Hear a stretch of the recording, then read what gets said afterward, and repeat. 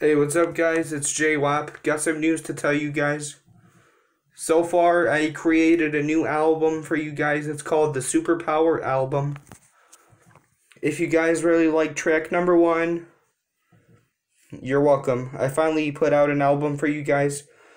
I recorded three new songs. I put three new songs on it. The rest are coming tomorrow. Because this album's going to be done after track number seven. It's going to have seven tracks on it. Hope you guys enjoy it. And yeah, the rest is going to be coming tomorrow. I got three done for you guys today. I recorded three songs and I put them on the album. So I only got to record a few more songs tomorrow. Then the whole thing is all done. Hope you guys like it so far. And I got one feature on my album. I got one feature, which would be Little D.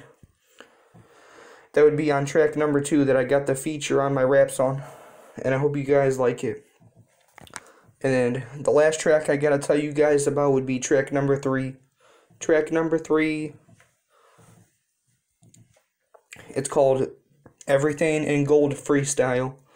1 minute and 40 seconds. I chose a really dope rap beat for that song. So, so far my whole album is turning out pretty good. And yeah, hope you guys like it after it's all done. The rest is gonna be coming tomorrow. And yeah.